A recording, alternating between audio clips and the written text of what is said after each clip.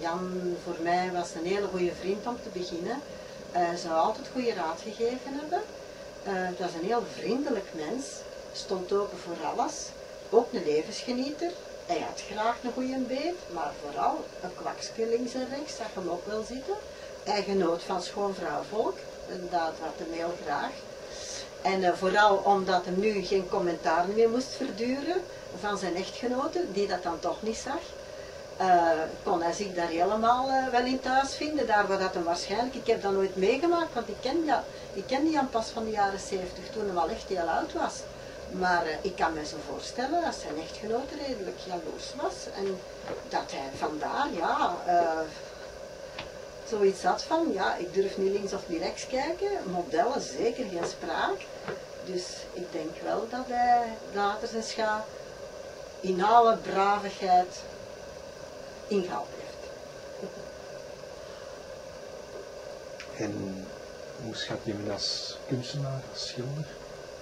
Ah, ik vond dat een zeer vitaal mens.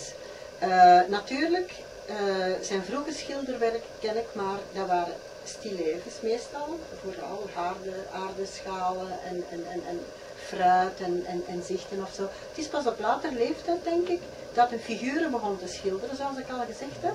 En dan ging zijn interesse vooral uit naar het circusleven, de kermistenten, um, ja, gewoon de hele felle kleuren, dingen die je echt zelf heel mooi vond. Nu vraag ik mezelf af, uh, zijn zicht moet nog heel goed geweest zijn. Misschien ervoer hij de kleuren anders, want zijn kleurenpalet op zijn latere leeftijd is merkelijk verschillend van dat op vroegere leeftijd. Maar het is juist dat kinderlijk vrolijke dat er pas op latere leeftijd uitkomt. Echt die levensvreugde in die kleuren.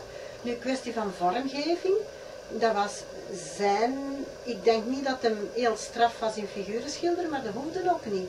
Want door al wat dat erin zit, eh, de vrolijkheid of de onschuld van een kind, of zijn paardjes zijn toch zo vertederend. Dat is zo schoon, dat hoeft niet uitgetekend te zijn. En ik denk dat hem veel mensen daarop afgerekend hebben, zo van, allee, zie een keer hoe dat in een bil of dat. Maar Jan, je moet Jan niet zo benaderen. Je moet Jan benaderen van, van binnen, vanuit je hart en die vrolijkheid voelen. En dan pas kunnen we appreciëren. En ik hoop dat we nu eindelijk zo ver gekomen zijn dat mensen dat kunnen zien in zijn werk. Want dat verdient hem, volgens mij wel. Dat verdient hem, zeker en vast.